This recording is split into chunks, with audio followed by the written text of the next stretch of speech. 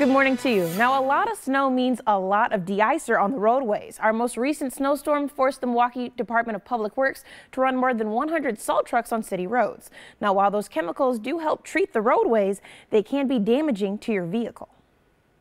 $3 billion annually. That's what AAA found drivers spent nationwide in car repairs. AAA says the five-year survey found U.S. drivers paid nearly 15 billion because road salt and liquid de-icers cause rust. I see a lot of corrosion that comes from the bottom up.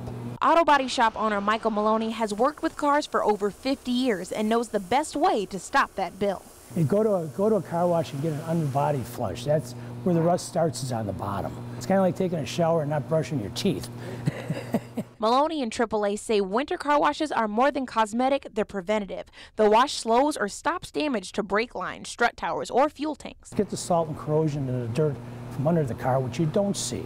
AAA found 22 million Americans were averaging $500 in repairs. $500 to $2,500. It all depends. All depends how bad it gets. A lot of body shops won't work on rust, I can tell you that.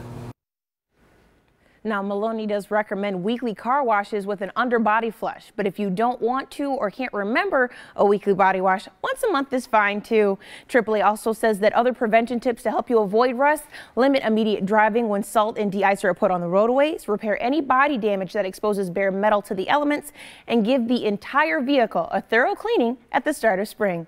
Back to you. All right, Steve, thank you.